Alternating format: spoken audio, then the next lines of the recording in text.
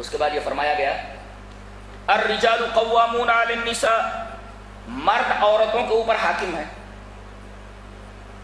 यहाँ मामला उल्टा है। अनिसा कौवामातुन अल रिजाल खड़े हो जाओ। बैठ जाओ।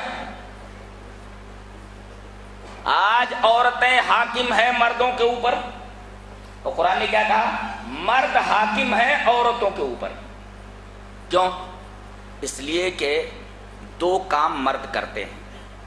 एक तो काम है वो वह भी अल्लाह की तरफ़ से अता करदा, और एक है कस्बी।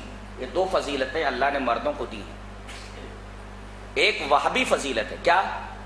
कि औरतों के बिल मुकाबिल मर्द ज़्यादा तमाना, ज़्यादा ताकतवर और अकली एतबार से बड़ा होता है। और आज साइंस ने, मेडिकल साइंस ने यह साबित कर दिया है कि मर्दों के दिमाग की रफ्तार, औरतों के दिमाग की रफ्तार के मुकाबले में चार गुना बढ़ा हुआ है। और यहीं से यह नुकता निकला कि एक मर्द चार औरतों से निकाह कर सकता है। साइंटिफिकली साबित है।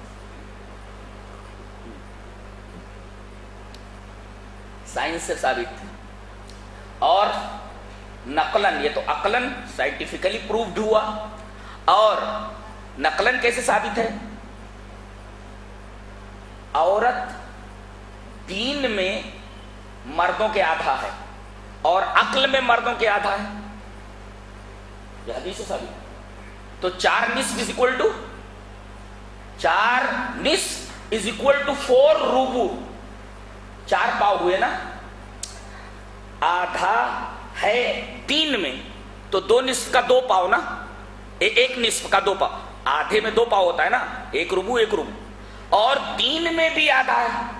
तो एक रुबू एक रुबू एक रुबू एक रुबू। एक चौथाई एक चौथाई एक चौथाई एक चौथाई इज़ इक्वल टू फोर लिहाजा एक मर चार औरतों से शादी कर सकता है। तो ये अल्लाह तबारक व ने एक वहबी सलाहियत उसको दी है। कि बिल मुकाबिल औरतों के मर्द तमाना होता है, लिहाजा ताकतवर को फजीलत हासिल होगी कमज़ोर के ऊपर। उसको हाकिम बनाया जाएगा।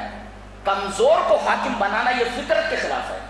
और औरतों के मुकाबले में मर्द तमाना और ताकतवर है, लिहाजा फितरती, फितरी तौर पर मर्दों को हाकिम बनाना चाहिए, बनाया जाना चाहिए औरतों के ऊपर। और दूसरी चीज़ ये है कि वो कमा कर लाता है। बीमा फजल व बीमा अनफकू कमा कर लाता है। ये कस्बी फजीलत है। इन दो फजीलतों की वजह से मर्द कौवाम है औरतों के ऊपर। अच्छा उसके बाद एक नुक्ता बताया गया। बाजुहम मिमबाज औरतें मर्दों का हिस्सा हैं। इसलिए कि औरत हज़रत आदम की पसली से बनाई गई है, है? तो औरत हिस्सा हुई किसका?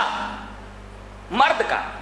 इसी वजह से लड़का माइल होता है लड़की की तरफ़ और लड़की माइल होती है लड़के की तरफ़। क्यों? इसलिए कि बेचारा ये भी नाकिस है और ये भी नाकिस है। नहीं समझे?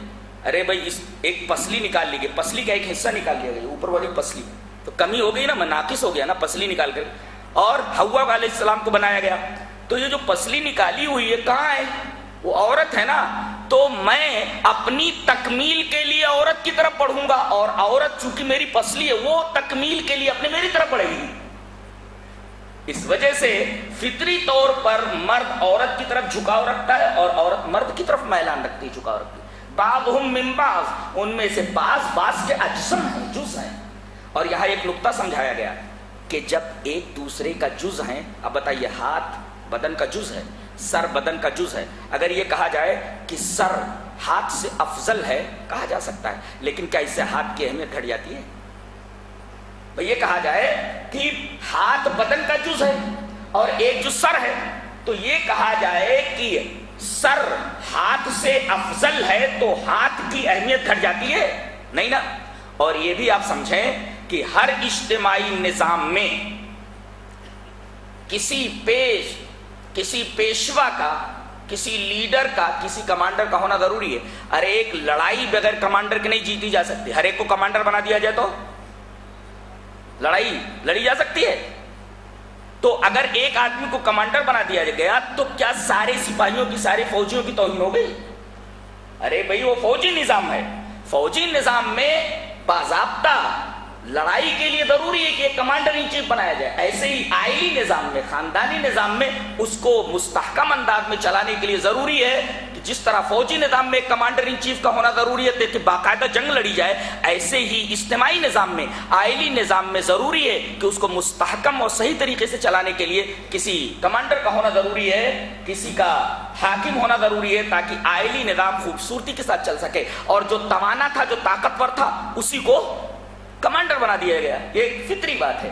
तो अर्रिजालु कव्वामून अला निसा बिमा फद्दलल्लाहु बादहुम अला व बिमा अनफकू मिन अमवालिहिम फस्सालिहात। अच्छा उसके बाद बताया गया कि